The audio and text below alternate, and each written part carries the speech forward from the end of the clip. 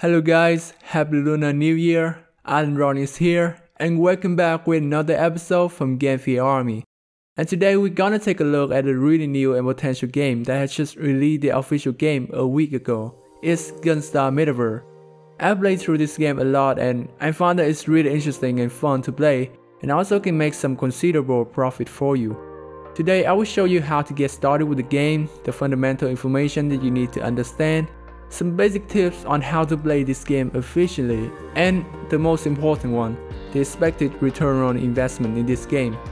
Remember I have put some timestamp in the video timeline, but this video contains lots of important information, so watching the whole way through would be the best for your understanding. So let's get right into it, shall we?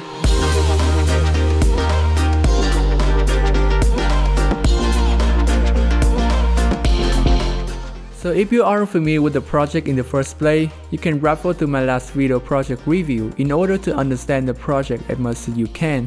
I will put the link on the top right corner of this video. So one thing I should know for you guys that this game is free to play, but it's not free to earn. It means that you can have a non-NFT characters and you can start to play the game and earn some GSC through P2E modes. But you cannot withdraw them only when you can have at least 2 NFTs in your wallet that you can make some profit. Remember that, it's really important. So when first get into the game, you can start playing the game right away by going to the website gunstar.io and click on play, connect to your wallet, create an account, and you will get into the main lobby. You will get a free non-NFT pet, this little cute chicken, and you can start playing the campaign mode. My recommendation is just using this free NFT just to test the game. Only when you like the game and feel like you can play this game all the day, then consider investing because this game requires a lot of skills and strategies and I think they may not be suitable for many people, so just try it for once. So right now if you want to have an NFT, you can go to the marketplace tabs and start searching for some pets or some eggs to open a random 2 NFTs. I will explain to you some basic information about the NFT pet system here for you to understand and make better investment decisions. So basically, there are 7 types of rarity in this game, from trial to ascent. Trial is a little cute chicken that I have mentioned before, and right now we only have about 7 pets, from normal to elite. There will be more pets and more rarities in the future, so players can have a really diverse collection of pets. But one thing you should understand is that the rarities aren't the most important thing in this game, they're not. Because all rarities here are built pretty equally in power, a normal pet in the hands of skilled players can win against pets of the higher rarities. So the game is more skill based rather than based on how much money you can spend. The higher rarity pets can have more unique skill and capable of dealing more damage when used correctly, but if you don't master it, it might become a real problem. This is my personal rank of difficulty level of pets in these versions based on my own experience, so it might not be true to many people but I think it can help you to have an overview of what you can expect from using this NFT pass. Moving on, each pass also has their own skill that you can use in a battle. Currently they got up to 3 skills. The skill 1 deals the lowest damage and also lowest delay count or you can call the normal attack. Skill 2 medium damage, medium delay count. And the last one, the skill 3, the ultimate skill, and definitely they have the highest damage, but also the highest delay count. We also got the passive skill that adds some additional effects for the pets or the team. So you may don't know what delay count is. This is a really important factor as the gameplay of Gunstar Metaverse is turn-based combat. So whenever you use skill 2 or the ultimate skill, you deal more damage to the enemies, right? But you will lose your turns and your enemies will have more turns to fight you. Interesting, right?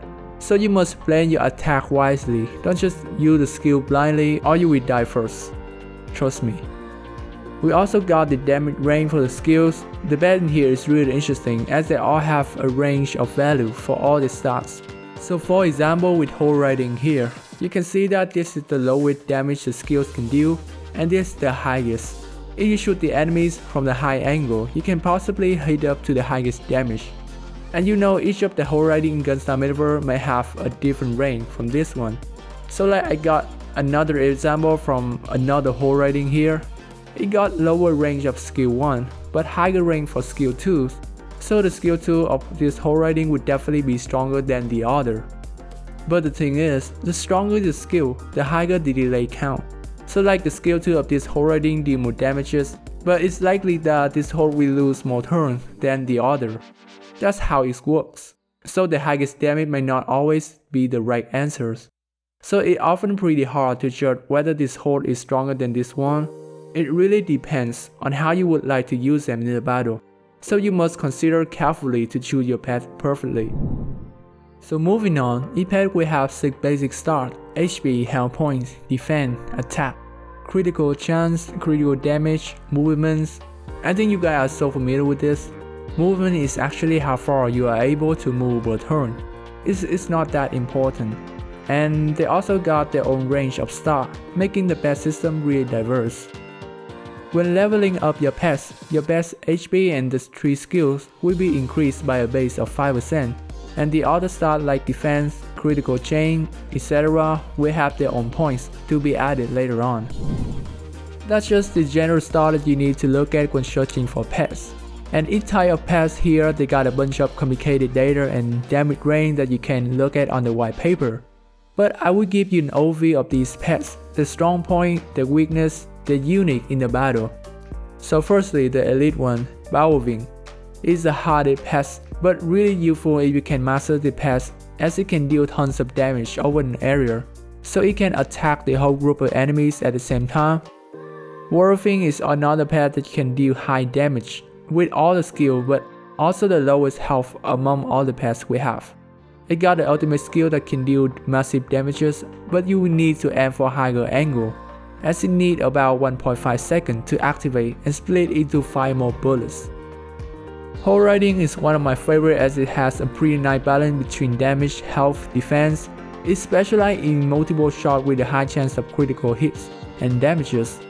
It's great for those feeling lucky and wanting to do some terrain destruction. Each of the beds has its own advantages and you know I have published some posts on our telegram channel about this, so you can refer to that by searching the hashtag Gunstar on our telegram channel. I put the post link in this video below so you can check it out yourself.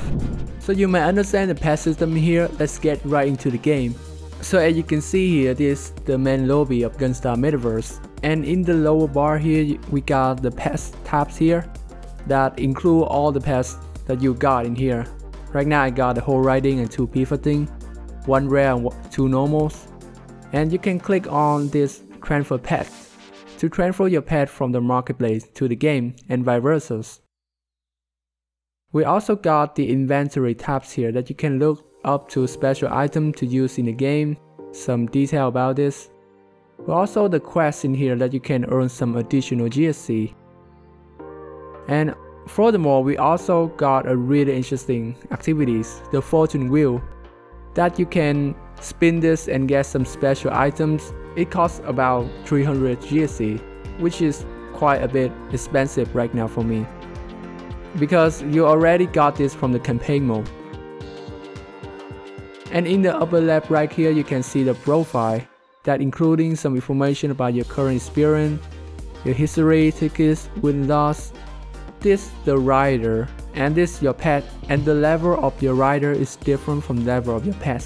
Remember that so the highest possible level of your pet is based on your rider current level. So for example my rider is currently at level 9, then the max level for my pet would be at level 9. If your rider is not level 10, you cannot level up your pet to level 10. So remember that, and they will need GSC in order to level up, so you always need to prepare some GSC on hand.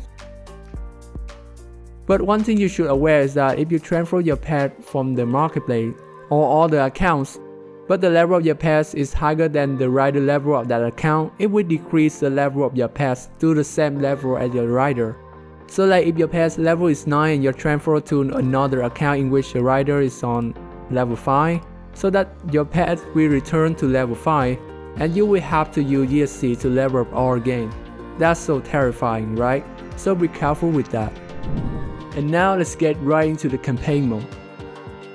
The map in Gunstar Metaverse is really really large. I think I will need a few months in order to complete all of this. The gameplay of Gunstar Metaverse is super easy. I have talked about this a lot in my last videos. Please refer to this in order to know how to play the game. The game is really based on the skill of the players, so yeah, I recommend to start trying with your free NFT chicken here. And buy some NFTs if you feel confident enough. The game right now doesn't have the training room for us, but I think that will open soon, so that new gamers can train and build up their skill during the fight, and this is really crucial for your main earning. Each of the map will cost you about 2 tickets, as you can see here, and 1 pet energy. The maximum of tickets in your account is 18 tickets, but you guys can get up to 36 tickets in a day when it recharges fully. Each of the pets will have a total of 3 energy, and it will take about 4 hours to recharge 1 energy. So 12 hours to recharge fully. Another important thing that you guys should check is that you will only need to battle with maps that have the same level at your rider level or higher to receive massive profit. Like if you can see if your rider level is higher than the recommended level of the map, the allocation of GSC reward will be cut down from 50% to 100%. So for example, like the recommended level of this map is level 10, but my rider level is only at level 9 so I still can earn up to 100 GSC but when I get to lower level map like like this one it's recommended at only level 8 so the, the rewards will be only 50 GSC so this mechanism is aimed to deter higher level characters that may take all the reward from the new players and prevent the high inflation of GSC so I think that's all you need to know about the campaign mode. We also got the boss hunt and the PvP mode, the arena, that is expected to be released in the future, so let's wait for it. In order to play the game efficiently, getting the maximum of your profit, and also don't get the frustrating feeling inside when you almost can win the battle, but just lost in the few final seconds. Trust me, you don't want that feelings. So I have prepared some basic tips that I think it would be really helpful for you guys to get through the campaign more efficiently. So tips number 1, only use the skills to finish off the enemies. Remember the delay count that I had mentioned to you before? These factors affect your battle performance a lot. When you use a skill that have higher damages, the enemy will have more turn to fight you. Usually the skill 2 will give the enemies 1 more turn, and the ultimate skill is 2 more turns. But remember that it will give equally to every enemy in the match. So like if you're fighting 3 enemies and you use the ultimate skill, each boss will get 2 more turns, which is 6 in total. Man, it's not worth it, your bed would probably be die before that. Therefore, I believe it's better for you to only use skill 1 and then the skill 2 or the ultimate skill to finish them off. Don't use the skill when there are too many enemies and you cannot destroy anyone with those skills because it's not worth it to exchange your health. I think the delay is really general so it's up to you to figure it out through your experience with your pets. The damage rank is really important for these factors. So moving on about the second tip. Level up your pets to the recommended level. So for example, like the current map recommend you to have the pet level 9 so you guys can consider to level up the main pet to that level in order to have higher chance of winning the battle. It may cost lots of GSC but trust me you guys can have more benefits as you can increase your higher rate of winning and also get some more items. Through my own experience, I feel like when your pet level is the same as the recommended level of the map, the enemy bots are kinda more absurd. Like they miss the shot more often compared to when you get into the map that has a higher level Yo, those bots are kinda like a bro shooter. I don't know if it's true or not, but that's what I get from my observations. So recommend to level up regularly to have more chance to win the battle and get the rewards. So don't try to get into the map that has a higher recommended level as you may get lost and lose a lot of energy and ticket per day unless you are super pro or your pets have some certain effects in that specific map. Like I can use my Radenting level 3 to get through the map 115 at ease. And the final tips, at least 3 pets in order to maximize your profit and the campaign progress. Remember the ticket system? There's up to 36 tickets per day, and E-Pad will have 3 energies that take about 12 hours to recharge. Based on this calculation, I recommend you guys to have about 3 pads in order to maximize the number of tickets, about 36 tickets per day, so you can play about 2 times a day and can maximize your earnings. You can also maximize the use of all the tickets with only 2 pads, but you have to play many turns in a day, and also timing the perfect time to play, which is impossible.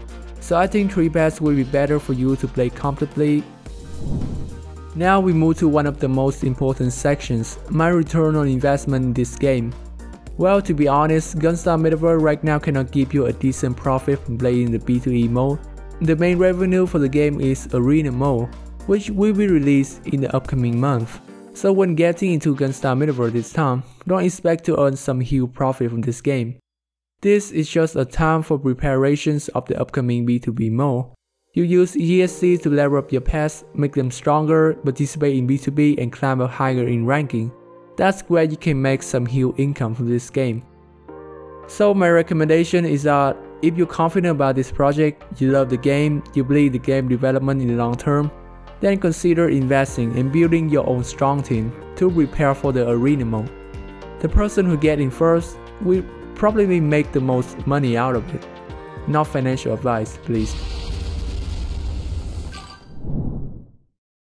Well, that is all I would like to say on how to get started with Gunstar Metaverse. Some really useful tips on how to play the game like a pro.